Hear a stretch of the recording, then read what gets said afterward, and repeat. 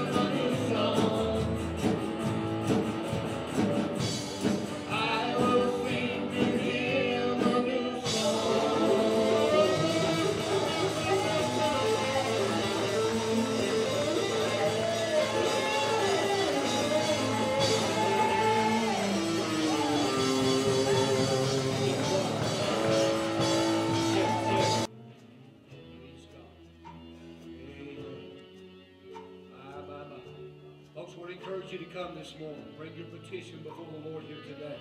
Come. Gather in around this altar here this morning. Let's go to the throne of God today. Come on. Bring your petition, bring your thanksgiving to God. Come on. Father, again, we want to thank you this morning for your love and your mercy today. want to thank you for your goodness today. want to thank you for another day of life, another day of mercy, another day of goodness, another day that you blessed us with. Thank God today. I'm, I'm so thankful this morning that that, that you have given us the gift of life, and we just want to give you praise today. We, we're thankful that we can come together in this house today with people of like precious faith. We can come together today. It is an awesome, awesome opportunity we have here today to lift our voice to the living God, to raise our hands in praise, and to give you glory and to give you honor today.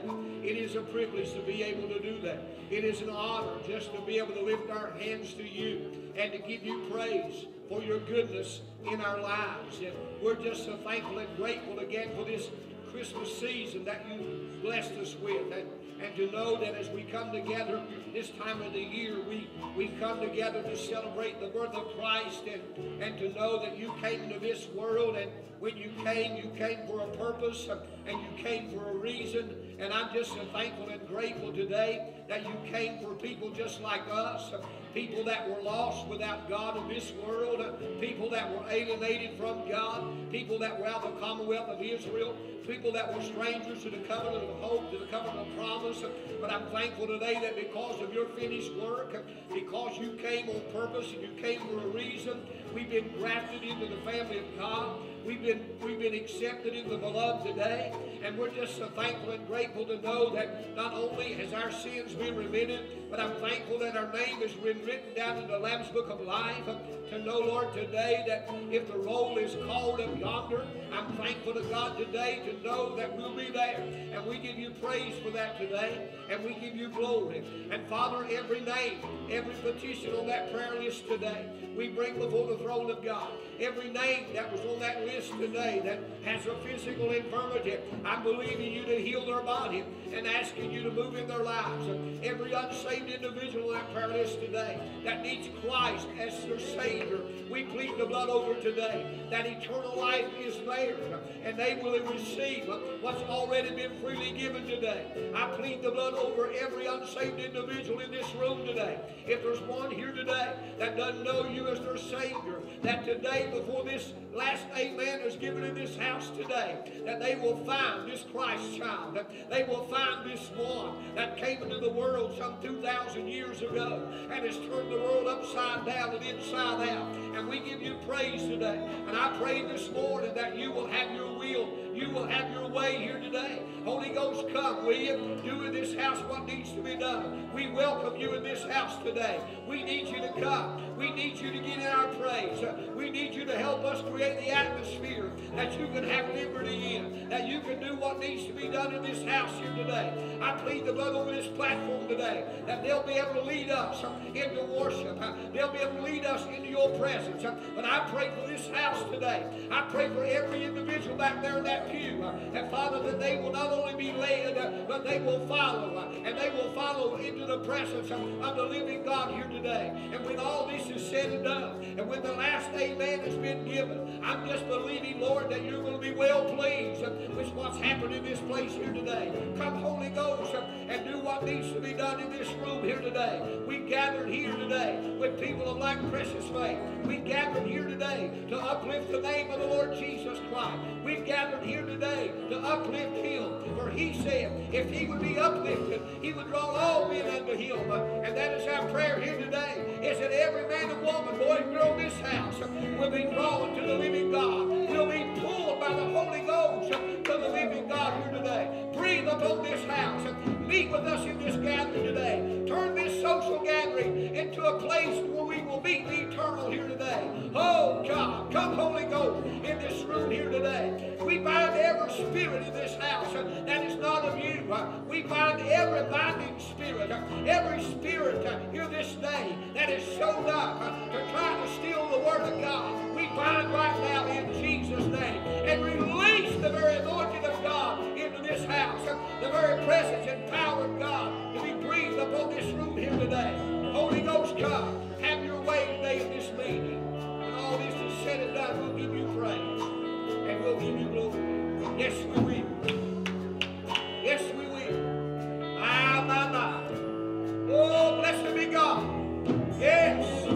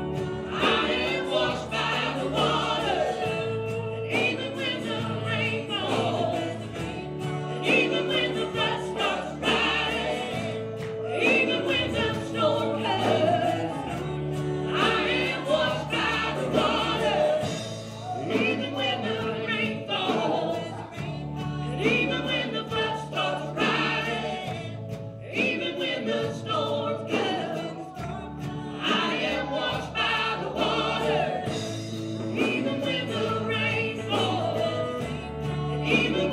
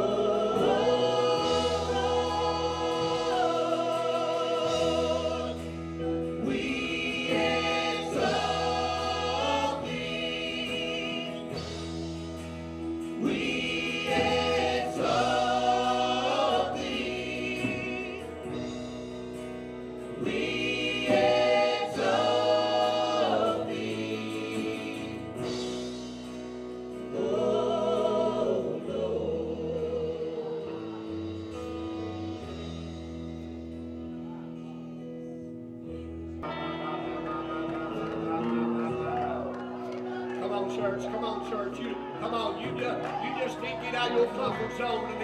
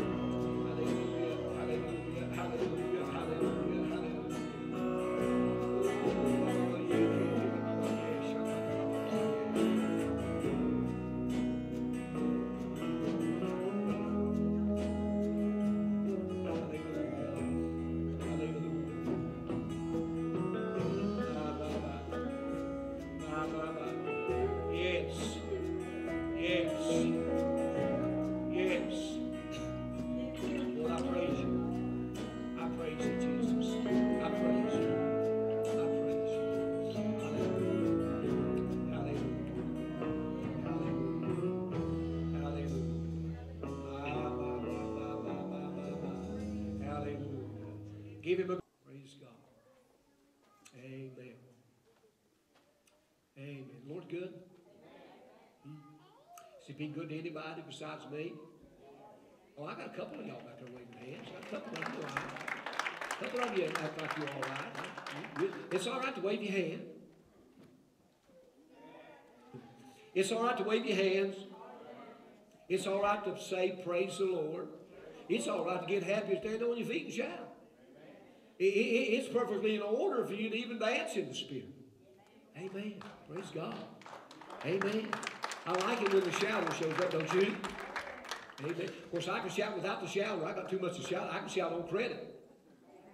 Amen. Because I'm far, I'm way far behind on when it comes to the praising part. Amen. Praise God. Amen. When, when, when, when, when Joshua took, took the children of Israel to Jericho, the walls was up, was they not? And the walls didn't come down till the shout went up. Shout went up before the walls come down. Now I know we like to shout when the walls come down, but sometimes you got to shout on credit. sometimes the, the shout's got to go up before the walls come down. Amen. Come on, don't y'all, come on, don't y'all, don't y'all do me like that. Come on, y'all. Some y'all, some y'all wouldn't hurt y'all say, "That's right, Pastor." Amen, Pastor. Amen. Before I get started this morning in the morning message, it, I, here's here's what I ask you to do. This morning, why don't you just get get out of your little reserve self today, and if the word blesses you while it's being preached, why don't you let the Lord know? Simply by audibly saying, Amen. Praise the Lord. Hallelujah. Preach on, preacher, or whatever you want to say, but at least acknowledge to Him that you agree with His word. Not mentally assent to it, but verbally agree this is His infallible word, and I praise you for your word today. How many of you try to do that? Give me, give me a wave. If, if, if you find yourself in this word today and it blesses you, well, let, let the Lord know it blesses you. Amen? Because when you let Him know, you let me know. And if you let Him know, you let me know, liable to be here all day. Not really. We're going to eat here after, after the service here this morning, all right? So let's not get in on it. We've got plenty of food down there. It's not going to spoil. We got guards sitting over it. Nobody's going to steal it. So when we get done here, we'll go downstairs and we will partake of the of the natural food. But before we go get the natural, we need to eat from the spiritual table of the Lord. Okay? Can we do that? Amen. Got your Bibles? Go with me to the Gospel according to Luke. Luke chapter number two this morning. I'll be there sometime after a while, and we'll read a few scriptures here and there. And uh, if you want to follow me in the Bible, that'll be fine. If not, well, it will be on the screen. All right. This morning, I want to talk to you upon this thought today, if I possibly can. Keeping the Christ in Christmas. I like that. Keeping the Christ in Christmas. You take Christ out of that, and you ain't got no Christmas. Keeping the Christ in Christmas. Amen. Now, I believe that we all can agree this morning that the Lord has blessed each one of us with another Christmas season. Can I get a witness in the house? One year ago, you was gathering some of you right in this very place a year ago, and the Lord has blessed you with another year and another Christmas season. Now, when you think about this Christmas season, it's a season that brings joy and meaning to many people. And yet, it brings sadness and depression to others. To some, it is no doubt probably the highlight of the year. And to others, far from that. It brings a totally different picture and a totally different meaning to this time of the year. It's a season that the world has commercialized and put its emphasis upon this little fat man in the red suit that we call Santa Claus. And if we are not careful, we too will get caught up in all the hustle and all the bustle and all the buying and going here and running there for this bargain and that bargain and buying this and buying that. And we'll get so caught up in the traditional part of this thing uh, that for a moment we forget the reason for the season. And may I add one more thing to that as well as you know, Jesus is. Uh, the reason for the season. So, in all of your busyness and in all of your running here and there, please uh, keep the Christ in Christmas. We are living in an hour when people are trying every way they can to take Christ out of Christmas. The world takes the holy days and they replace it with something that will turn people's thoughts away from the true meaning of the holy day. We come in the house and we celebrate Easter, and the world brings in a bunny rabbit that lays eggs, and, we send our kids out to hunt those Easter eggs. It takes the mind, it takes people's mind off of the resurrection, uh, the greatest event of human history, apart from the second coming of the Lord Jesus Christ. And the world is able to take that holy day and bring it down to a level that where it loses its true meaning. We come at this time of the year and we celebrate Christmas, the birth of Christ. And the world has taken a little fat man in a red suit that rides in a sleigh pulled by reindeer with presents in the back, uh, with elves as his helper. And somehow, some way, this man, Santa Claus, uh, he goes to every house in the world, uh, gets on the roof of every house, and comes down the chimney and leaves presents for every little boy and every little girl. Am I in the house this morning? The world's idea is to bring it down to a level that loses its true meaning. But, brother, I need to tell you that if you and I will keep our focus on the true meaning of Christmas and keep Christ in the Christmas, it will not be just a mere meaning, but it will be the very life and breath that we draw. Because it is because of Him that I live and breathe and have my being. It is because of Him that I am breathing this morning. It's because of Him that I'm living. It's because of Him that I have my being. And I am not about to take Christ out of my Christmas. Glory to God. We've come to the place in this hour where the world, they don't even want you to say Merry Christmas. They want you to say Happy Holidays. Happy, happy, happy, happy. Well, you can't be happy, happy, happy if you ain't got the happy one on the inside of you. Hallelujah. The only way Christmas can be merry is if you have Christ oh, in your Christmas. And if you ain't got Christ in the Christmas, then you ain't got merry. Are you listening to what I... And I'm not talking about the Virgin Mary. I'm talking about being happy, happy, happy, as Brother Robinson would say. The world has tried and you can you can see it everywhere you turn. You turn the news on at this time of the year, and, and, and, and, and we've offended the world, and somebody got offended because we say Merry Christmas. Well, let's just take Christmas out of it, and let's just say Happy Holidays. Uh, I'll fooey on you. I'm going to say Merry Christmas as long as I breathe, because I have Christ in my Christmas, and I know if I can get Christ in my Christmas, I can be merry, merry, merry. Glory to God. Amen. In this hour, of this world, the world has become very bold. They're forcing people right now to take down even, even the nativity scenes. They're forcing them to take them down. It offends the world. I was watching Bill O'Reilly the other night, a couple nights ago, and he was he was interviewing an atheist on his program. And and and, and there, were, there, there, there, there was some atheists and agnostics who had paid to put a message on, a, on the big screen in Times Square in New York City. And Bill O'Reilly had this atheist interviewing him on his program. And he said that when you walked into Times Square, Bill O'Reilly said that's the first thing that you saw was that big display on that, on that screen and the message that they had put on there. And the message was, who needs Christ in Christmas? Nobody. And they went on to say that Christmas is a time of fun and, and, and food and parties and all that. But when confronted and asked, why did you why did you put why did you do that? Why did you put that up? Nobody is forcing you to observe Christmas the way Christians do. So why do you attack Christmas when nobody is forcing you to observe it? The man could never give an answer.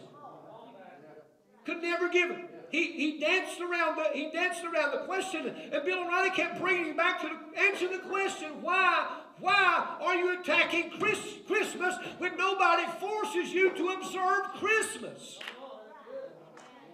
See, listen, listen to me. See, they're not offended at Santa Claus. Oh, God Almighty. They're offended at Christ that's in the Christmas. That's what they're offended at. You take Christ out of Christmas and you have no Christmas, period. They're not offended at Santa Claus. They're offended at the Christ that is in the Christmas. So now, you tell me which is better, Jesus or Santa Claus? Santa comes only once a year.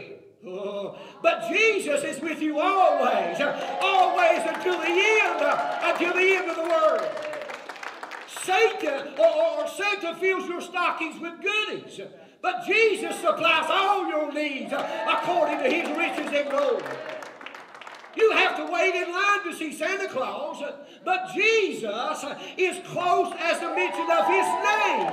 Call unto me, and I will answer thee, and show thee great and mighty things which thou knowest not. Santa lets you sit on his lap. Jesus lets you rest in his arms. Come unto me, all ye that labor and heavy laden, and I'll give you rest. Santa comes to bring presents of toys and tools and clothes. But Jesus came that I might have life and have it more abundant. Santa doesn't even know your name. All he can say is, Hi, little boy. Hi, little girl. What's your name? But Jesus said, Before I formed you in the belly, I, oh God, I knew you. And before you came forth out I sanctified you and set you apart.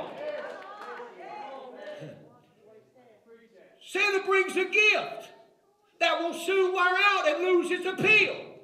But God gave us the gift of eternal life through His Son, Jesus Christ. Santa puts his gift under the tree. But Jesus gives us the gift of living by dying on the tree. We tell our children to be good for goodness sake. For if they're good, you'll get gifts from Santa. But Peter said, repent and be baptized, oh God Almighty, every one of you, uh, for the remission of your sins, uh, and you shall receive the gift of the Holy Ghost. Now, I would rather have that gift than anything Santa could bring me. As Jesus said, For what shall it profit a man if he gain the whole world and lose his own soul? I don't know about you, but I'm thankful to God that it's not about what's under the tree, but it's all about who came to climb on that tree. I'm talking about the Christ in the Christmas. And you make up your mind who would you rather have, Santa or Jesus? I believe if you'll run with Jesus, you'll get the better end of the deal. Because Jesus is the reason for the season. Keeping Christ in the Christmas. The Christmas story is all about a gift, a love gift. But here's the catch a gift is of no value or no use unless that gift is received. Can you imagine a child on Christmas morning leaving his presents unopened? Carrie, can you imagine little Micah, little Kylie going down to the Christmas tree for their presents and never opening up their present to see what, what was under that tree? Think about that. I mean, they stayed up all night uh, with anticipation and, and excitement where they couldn't sleep. They was waiting for that break of dawn to where they could run downstairs or go, go in the other room to where the tree was and, and get to that tree to, to get to that one gift that was under that tree, that one gift that they'd been waiting for months for that would bring them joy and contentment and purpose. And they run to that tree and stop and turn and walk away without, without opening the gift to, to see what it really was. Can you imagine that?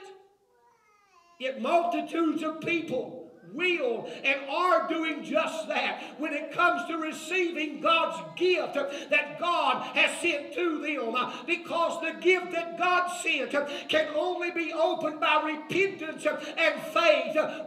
repentance because we have all sinned and come short of the glory of God. And faith because it's by grace through faith that you are saved, not of yourselves. It is the gift of God. This gift has already been bought and already been paid for. And you don't need to wrap this gift, but simply unwrap it and see for yourself this great gift that God has sent to you.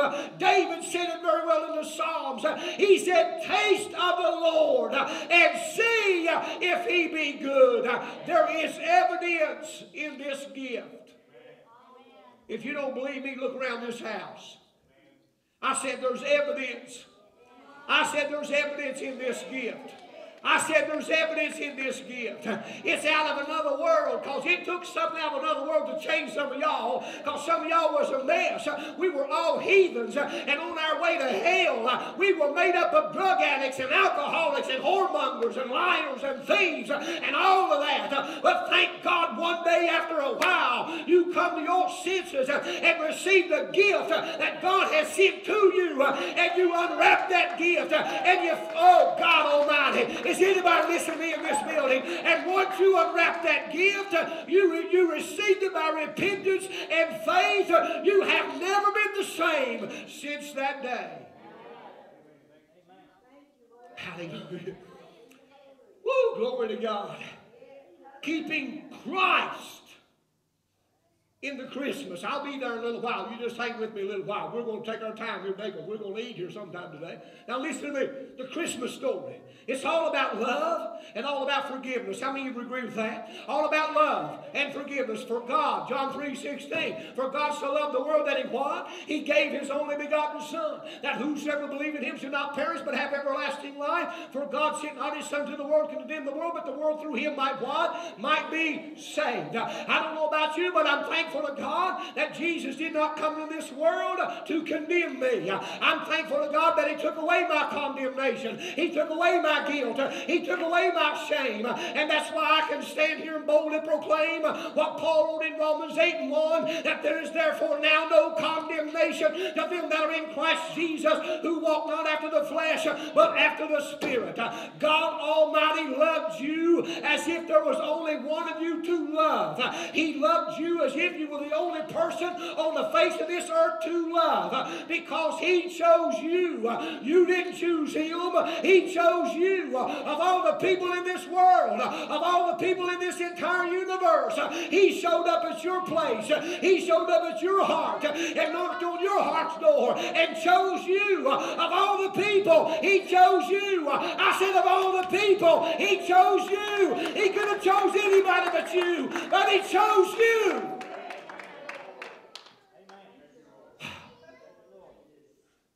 I thank God today that He didn't come to this world to condemn me. But thank God that through him I might be saved. I might be forgiven. Hallelujah to the Lamb of Almighty God. And God loved you as if there was only one of you to love. I love this scripture found in Romans chapter 5 verse 7 and verse 8. Look, man, this is powerful. Paul said, For scarcely for a righteous man one will die, yet peradventure, or perhaps for a good man some would even dare to die. For a good man some would even dare to die. For a righteous man some will die. For a good man some may dare to die. But God, I said, but God, I said, but God commendeth His love, uh, demonstrated His love toward us in that while we were yet sinners, Christ died for me and He died for you. I don't know if I got anybody listening to me or not. You may be too holy to raise your hand and too sanctified to say good glory to God. But I'm telling you this morning, you were just like I was at one time in your life. You wasn't even worth looking at, but yet the Lord God Almighty, while you were yet in your sins, while you were yet a sinner, Christ the God of all glory came and died for you. Scarcely would a righteous man die for a righteous man. Oh, scarcely would they die for a good man. But God, I said, but God, I said, but God, I said, but God, I said, but God, went beyond all of that and came to the bar room and came to the crack room uh, and came to the outhouse uh, and the whorehouse uh, and any other kind of house and got to where you was. Thank God Almighty. But God, I said, but God commendeth his love, demonstrated his love, that while we were yet sinners, on our way to hell, he died for us. He didn't see you when you got saved. He seen you when you was out there cussing, drinking, drugging, whoremongering, fornicating, shacking up. Well, I ain't gonna build no church like preaching like him. What, what's wrong with you, preacher? I'm telling you this morning, if you ain't got nothing to celebrate about, and if you ain't got nothing to say Merry Christmas about, I just gave you a reason right there to shout the walls of to shout the walls of this church down, honey. Because God, I said, but God, He demonstrated His love towards you, and while you were yet a sinner, Christ died for you. Can I get a witness in this house? I said, can I get a witness in this house this morning? Anybody glad that He died for you? Anybody glad that He came and gave His life for you? Christmas story is all about forgiveness. John 3 17, for God sent not his Son to the world to condemn the world, but the world through him might be saved. It's a story of forgiveness. After all, that was our greatest need, was it not? If our greatest need had been, had been information, God would have sent an educator. If our greatest need would have been from technology, God would have sent us a scientist. If our greatest need would have been for money, He would have sent us an economist. But since our greatest need was for forgiveness, God sent us a Savior. Hallelujah. God sent us salvation. Because that was our greatest need to be forgiven. Some of you here this morning, you, you haven't made that trip. You haven't made that trip to the cross to be forgiven. You can't imagine. I can't. I don't have the vocabulary. I don't have the ability to tell you how awesome it is to know that I have been forgiven by Almighty God. He put it in words. But this Christmas, it's the story of, of forgiveness. Luke chapter 2, verse number 11. Scripture says, For unto you is born this day in the city of David a Savior, salvation, which is Christ the Lord. Now stay with me just a few minutes while we plow a little bit of ground on this. The only way that God could help man was to become man. And he did just that in the person of the Lord Jesus Christ. Paul said like this in Romans 8 and 3 For what the law could not do, in that it was weak through the flesh, God sending his son in the likeness of sinful flesh and for sin condemned sin in the flesh. Paul wrote like this in Philippians chapter 2, verse 5 through 7. Let this mind be in you, which was also in Christ Jesus, who, being in the form of God, thought it not robbery to be equal with God, but made himself of no reputation, and took upon him the form of a servant, and was made in the likeness of men. Let me say it one more time. The only way that God could help man was to become man, and he did just that in the person of the Lord Jesus Christ.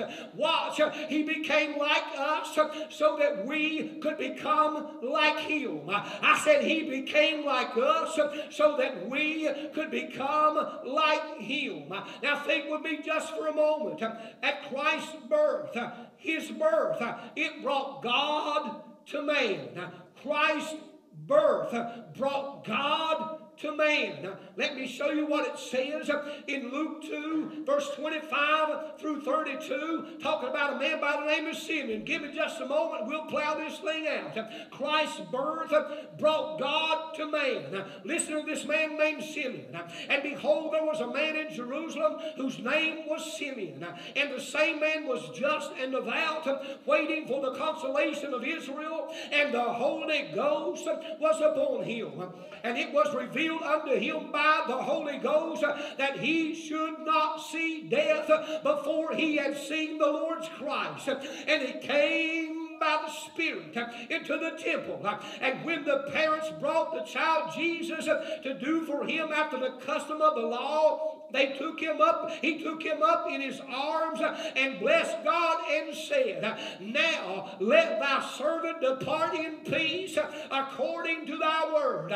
For my eyes have seen thy salvation, which thou hast prepared before the face of all people, a light to lighten the Gentiles and the glory of thy people Israel. Let me say it one more time. Christ's birth brought God to man. Mm. But in it, fast forward this thing, but in his Wait, wait, wait, wait, wait, wait, wait, wait, wait, wait. Christ, let me, let, let, let me give you an illustration. This is my, come here, Brother Bean. Come here, Brother Mike. Put your Bible down, come up here. Would you do that? Let, let me, let, let, let, let, just let me give you this illustration. Come on, boys. Y'all walk faster now. Y'all taking up my time now. Glory to God. Stand right here. Get, you stay over there. Stay over there. Stay over there. Stay, come, come, come, come, come, come, come a little bit closer. Ho, ho, ho, ho, ho, ho, ho, hold right there. Hold right there. Hold right, hold right there. No, no, hold right there. Stick your arms out. Stick your arms out. Watch now. Don't, don't you stay right there. Watch now. Watch now. Christ birth brought God to man. Watch that. But in his death, in his death, he was able to bring man to God. 1 Timothy chapter 2, verse number 5. Look at the scripture. For there is one God and one mediator between men and God, the man, Christ Jesus. Stay with me now. Stay with me. In his birth, he brought God to man. But man, man was still separated because of sin. And Jesus came and willingly and sacrificially climbed upon that old rugged cross. And he shed his life's blood. And they pierced his side. And out come water and out come blood. And the mercy seat. When Jesus gave that sacrifice, he sprinkled the blood on the mercy seat of heaven. And God the Father accepted the sacrifice. And thank God Almighty, in his birth, uh, he brought God to man. Uh, but in his death, uh, he was able to bring man to God. Now, watch now. You see, according to that scripture right there, there has never been anybody so much like God and so much like man that he can literally reach over and put one hand on God and one hand on man and bring us into fellow oh and bring us into fellowship with God Almighty. I'm telling you, uh, you have a mediator, you have a go-between this morning, and it's all because of the Christ child. It's all because of that Christmas morning, uh, hallelujah, in a manger, in a town of Bethlehem, uh, when the Savior came into the world and he brought God to men and he went over 32 years and made his way to Calvary and gave his life on the cross and through that death and sacrificial lamb he was able to bring man to God. I don't know about you, but I'm going to give him praise. I'm going to give him praise. I'm going to give him praise. I'm going to give him praise. I'm going to give him praise. Because will in a Father. Hallelujah. Thank you, men. Glory to God. Glory to God. Glory to God. I'm talking about keeping Christ in the Christmas. Honey, ain't nobody done you like Jesus has done you. I said, ain't nobody done you like Jesus has done you. Isaiah said it like this. Said over 700 years before, before it ever come to pass. Over 750 some years maybe. That before it ever come to pass. In Isaiah chapter 9 verse 6. Isaiah said like this. For unto us a child is born.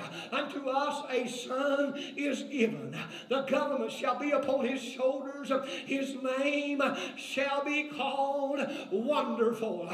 My, does anybody in this building, anybody in this building know him as a God of wonder. Has He ever made a way for you where there seemed like there is no way? Anybody know Him as the God of wonder? I got to have somebody help me here this morning. I said, anybody know Him as a God of wonder? Isaiah said, and His name shall be called Counselor. How many of you know Him as your consultant? Oh God, He'll be your lawyer when you're in a courtroom.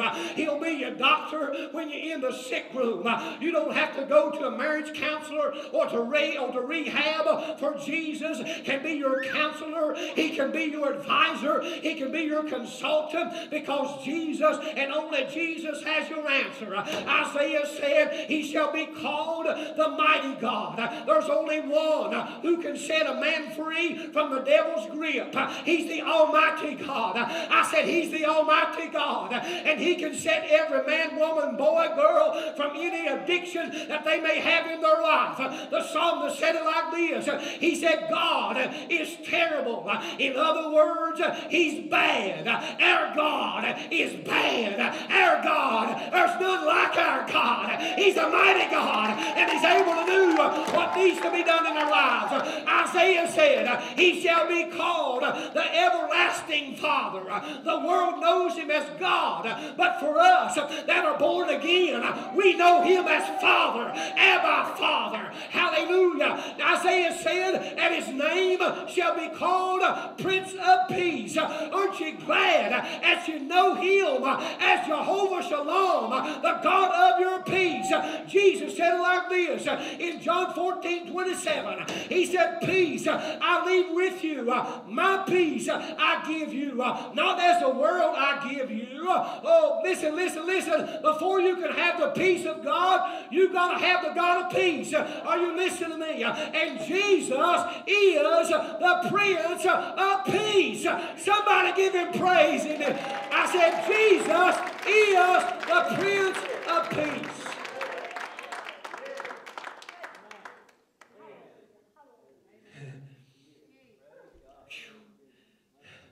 Over 700 years before Christ ever came on the scene, Isaiah prophesied that we would have a son that a son would be given, a, a, a, child would be given, a son would be born.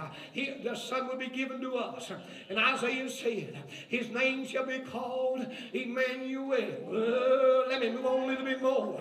I go over and I'll go over from Malachi to Matthew. There's over 400 years of darkness, 400 years of silence. Isaiah prophesied that over 700 years before Jesus ever come on the scene.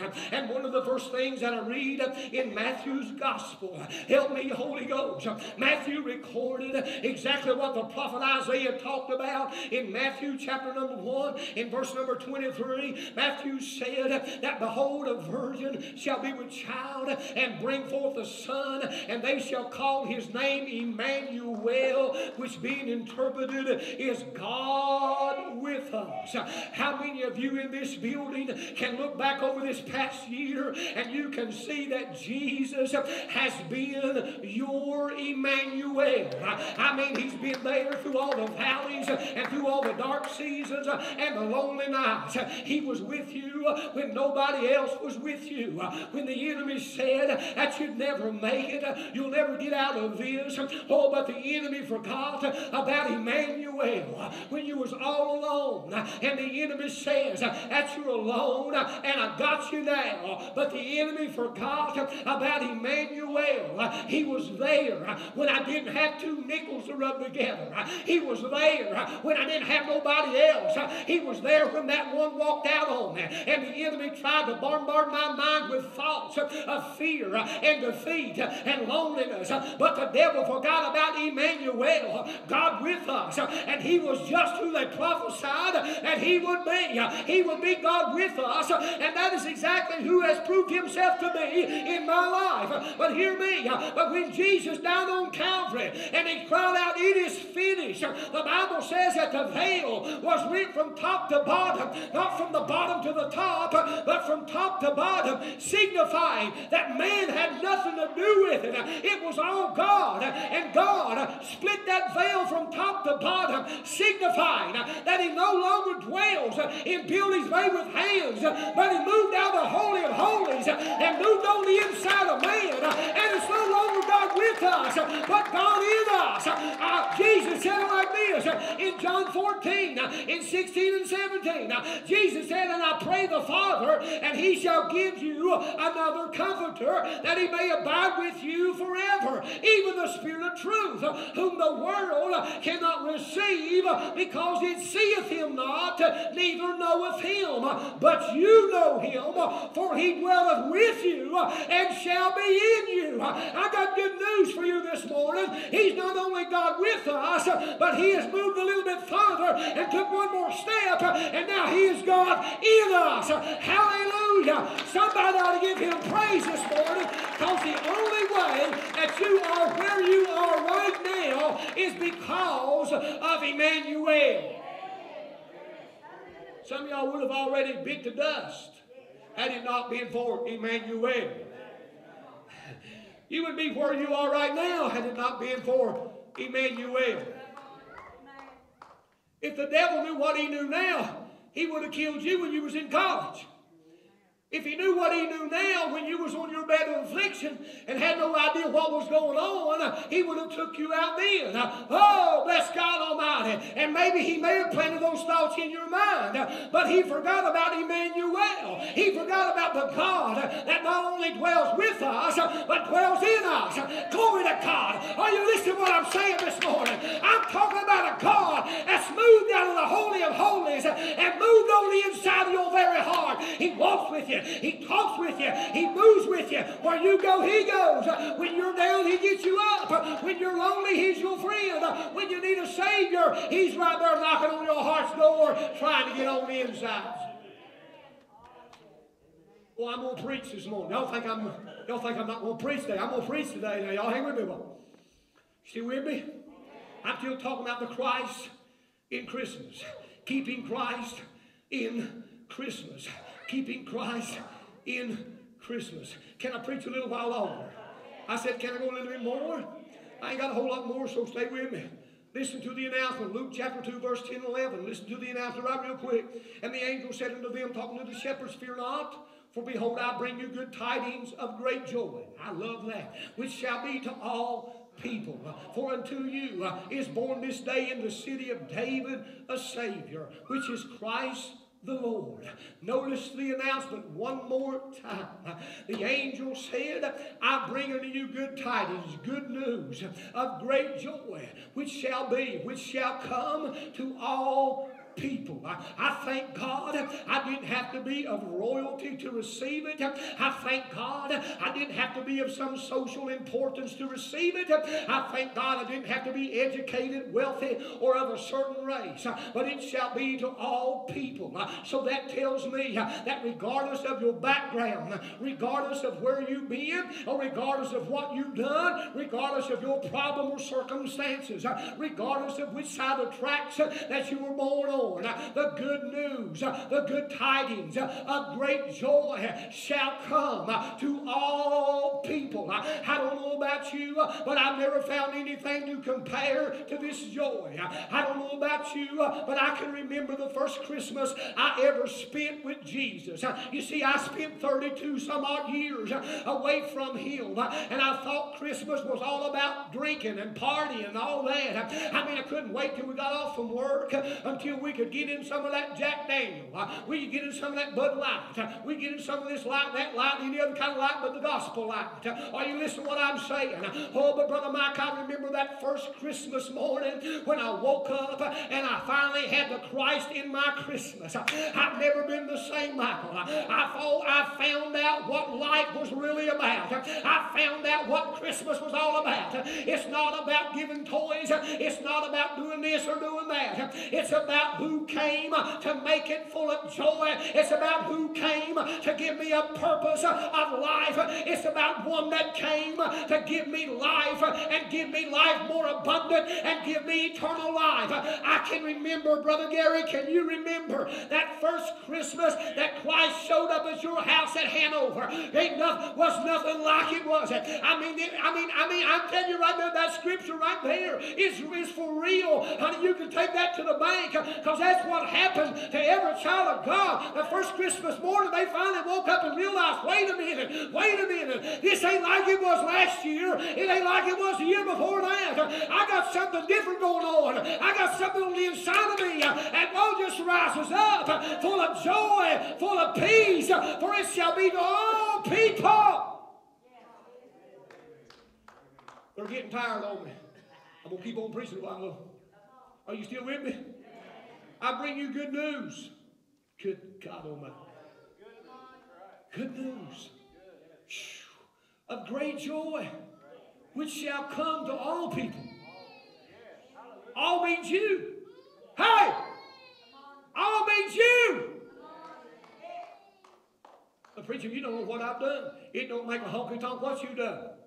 And it don't matter how many honky tonks you've been in. Ah, Jesus, I tell you, y'all getting saved on me now, sanctified. Don't want to go there, do you?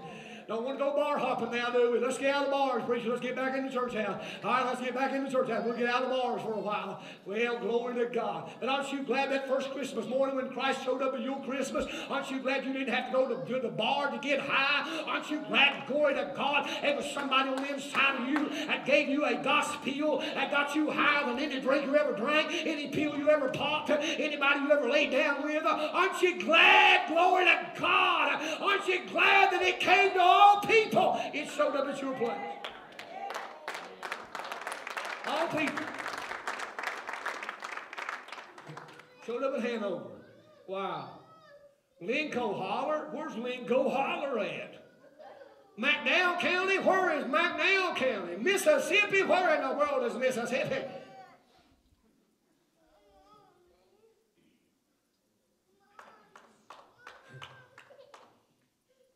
Ceiling. He didn't have to stop at your house. I'm not talking about Santa Claus.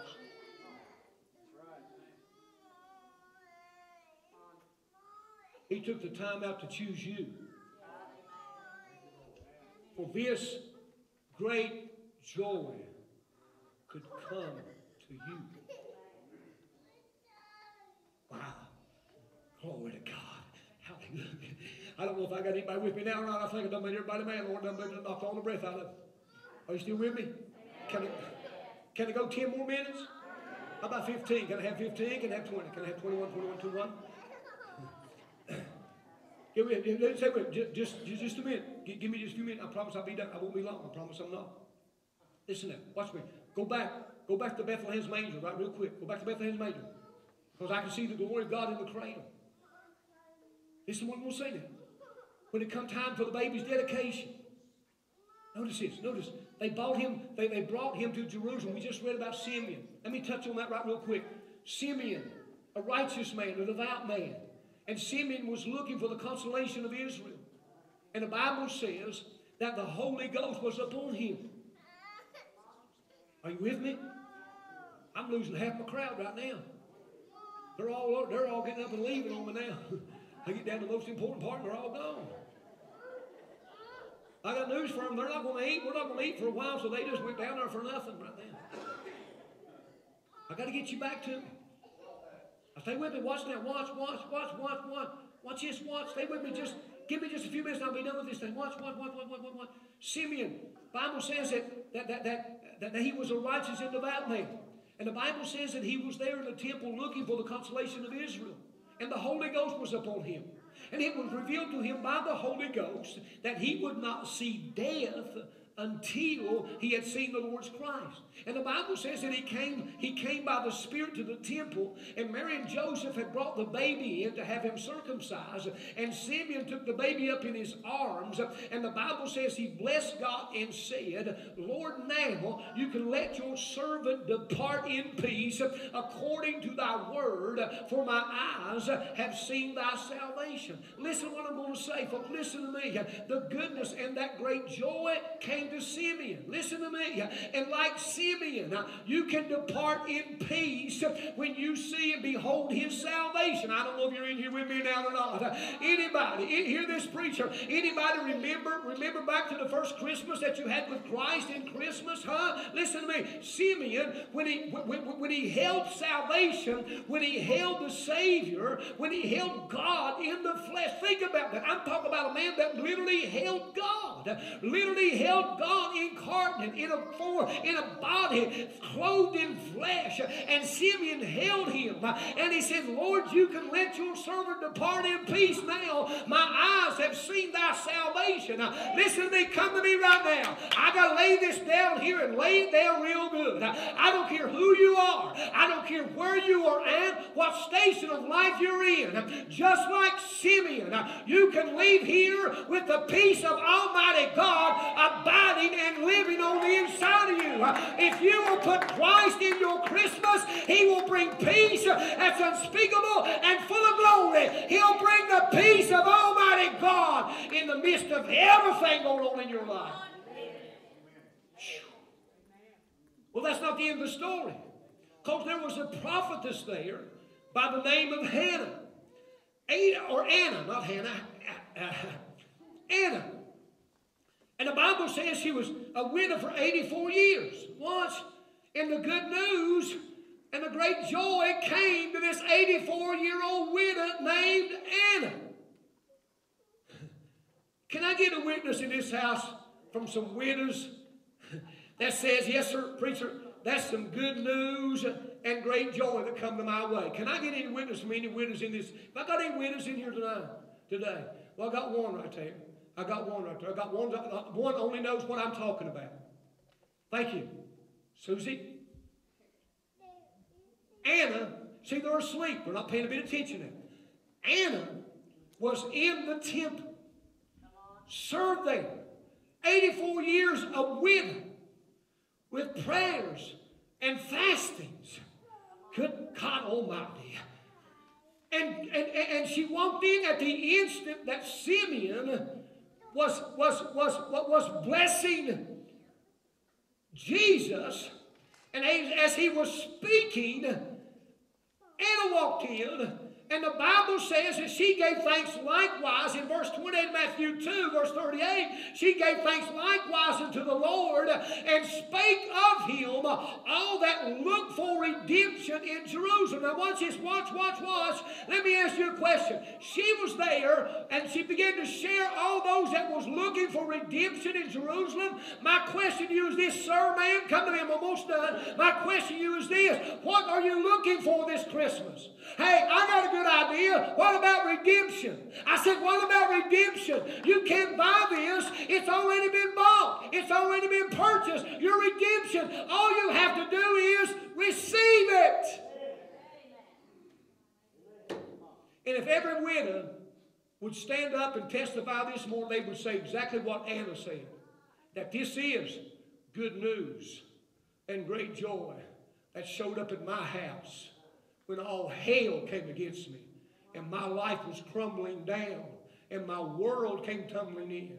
Had it not been for that good news, had it not been for that great joy that came up to my place when all hell broke loose and my world came tumbling in, I don't believe I would have ever made it. I don't believe I'd ever come through it. I don't know about you, but I'm thankful to God this morning that He still looks after His witness. He still looks after the women and men of God that'll trust Him and put Him in their Christmas. I'm telling you, He's still the God that will show up and show off and meet the need of your life. Listen to this, preacher. I'm almost almost done. Watch now. One more place. One more place. One more place that the good news reached. One more place that this great joy reached. And the Bible says, the Bible says that after Jesus was born, the Bible says that the angel appeared unto, unto the wise men. Remember that story? Remember, remember that story? Well, it's, it's in your Bible. It's in your Bible. And the good news and the great joy came to the wise men who returned, watch now, to their own country. Watch now, when Jesus, when Jesus was born in Bethlehem, the Bible says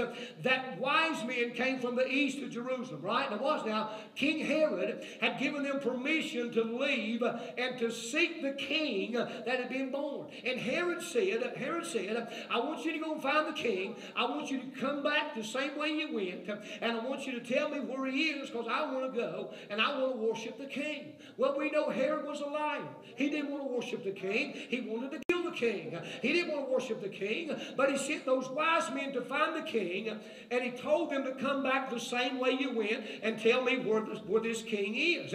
And the Bible says that after these wise men found Jesus and they spent some time with him, here's the thing I want you to get out of there. In verse number 12 of Matthew chapter 2, after they found Jesus and spent some time with Jesus, the Bible says that they departed into their own country, watch, another way. In other words, men that come to Jesus don't return the same way because Jesus never leaves you the same way that he finds you. Now, there's a message in that little part right there that they returned another way because some of you are just like them wise men because wise men still seek the Christ of Christmas and when they find him, they always return another way. They never go back to say, I ain't got nobody in here right now, but I, I may have to go back to the bar room and preach a little while because some of y'all need to go back and remember who you were and where you came from. Because when you came to the Christ child, he didn't leave you the same way that he found you.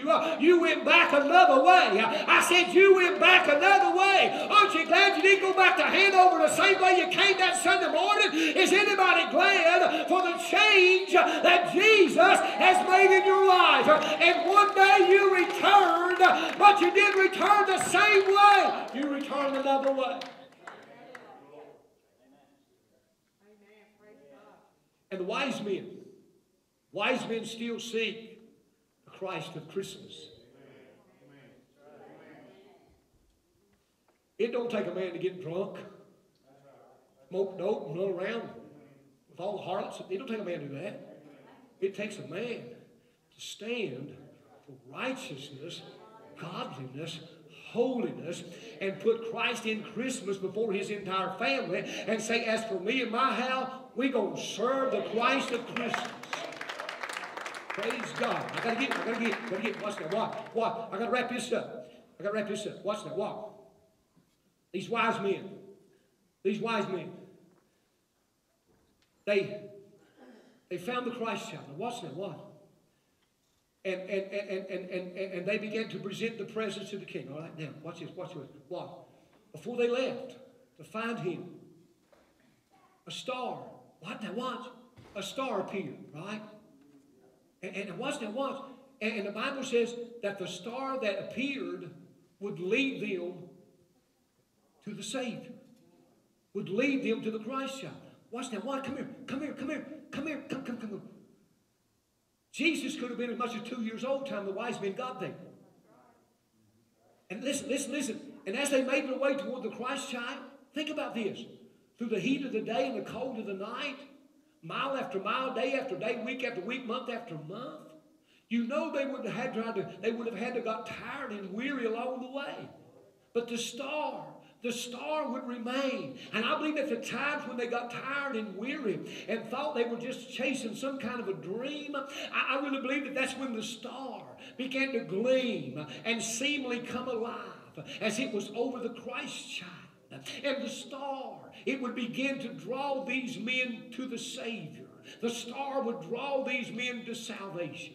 But after these wise men arrived, watch, and they found the Christ child, the star seemingly disappears.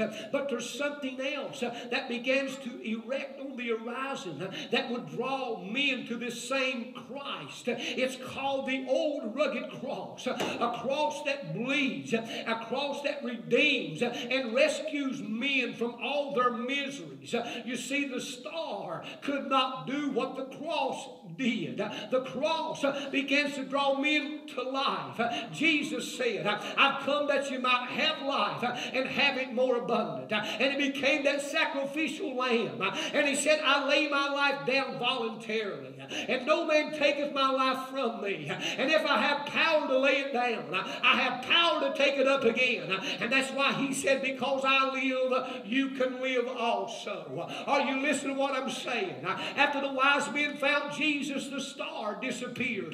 But if you keep reading the gospel, there's something else that would rise up in the horizon, and that was the old rugged cross. What the cross could do for men, the star could not do. The star led them to the Savior, to the Christ child, but the cross of Calvary will lead you to eternal life and forgiveness and redemption for your sins. Are you listening to what I'm saying? I'm getting ready to close. I need you to get up here right real quick. Now, the last part of this story I got to cover right quick while they get ready. Now, listen to me. Don't put your eyes on them because I'm getting ready to close. But I need to close this message out with the last part of this Christmas story. And I believe with all of my heart that the saddest part of this Christmas story is in those words in Luke chapter 2, verse number 7. Now, what y'all do, y'all do real quiet. Now, don't, don't disturb me. The saddest part of this Christmas story, that man right there mentioned it in his opening statement in this house. The saddest part of the Christmas story is found in Luke chapter 2, verse number 7, where they said recorded uh, that there was no room for them in the inn. Now, listen to what I'm going to say. Because some 2,000 years later, for many people, there's still no room for Jesus in their lives. They participate in the Christmas festivities, they shop and they give and they share their love, but they keep Him out of their lives. Hear me.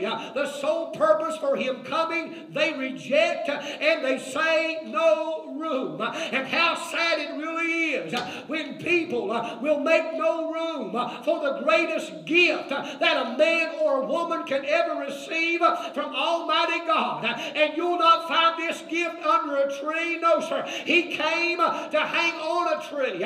He came. He chose to die that you might live. So my question is, how about you out there this morning? Is there room in your life for the Christ of Christmas? Is there room? What Jesus said it like this: What would it profit a man if it gained the whole world and lose his own soul? Please hear me this morning. The saddest part of this whole Christmas story is when you read those words that there was no room for them.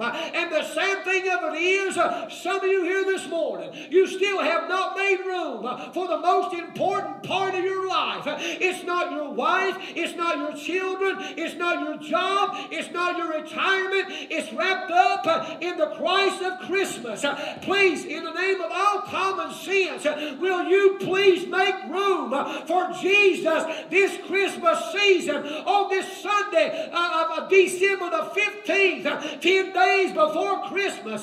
Will you make up your mind today that you're going to make room for the most important gift that you could ever receive in your life? And that is the Christ child. And you can leave here and keep Christ in your Christmas. I'm looking at some of y'all and I said I should have quit an hour ago. Some of you are far, far too busy. You got room for everything else. But the most important gift that God you could ever receive. Friend, listen to me. Listen to me. What are you going to do when you stand before the Lord? And there's no excuse that you're going to give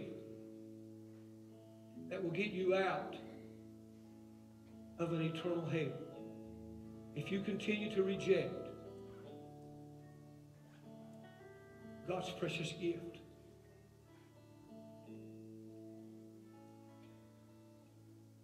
He stood at your heart's door and knocked on it how many times? And you're just like those there in Matthew chapter 1. There's no room for it. But when will there be room?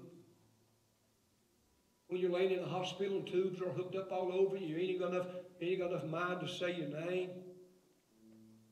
Some preacher like me go in and pray and beg God to give you one more chance. I've been there. I've wept over people in hospitals that had tubes sticking everywhere they could stick them and had no idea whether they'd ever made right things right with God or not. Their problem was just like your problem. They just simply hadn't made room for it. You can make room for them if you will.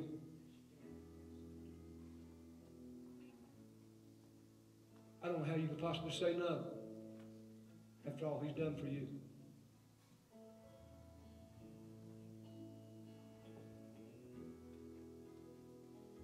No individual worth missing heaven and going to hell is not. Hell is real. Jesus died and went there so you wouldn't have to go there. And over 2,000 years ago, God sent his most precious gift that he could send to humanity.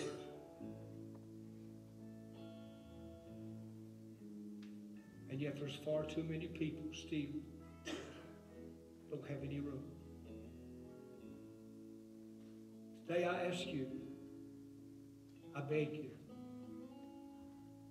you make room for him today? Please. Don't hurt the heart of God no. Don't break the heart of God today. And one more time, say no.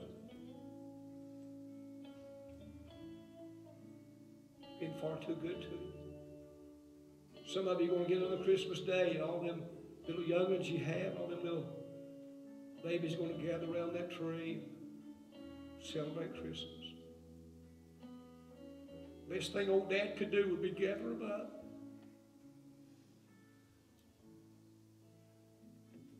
Gather them up in his arms. Just begin to thank him. God of glory for blessing his family.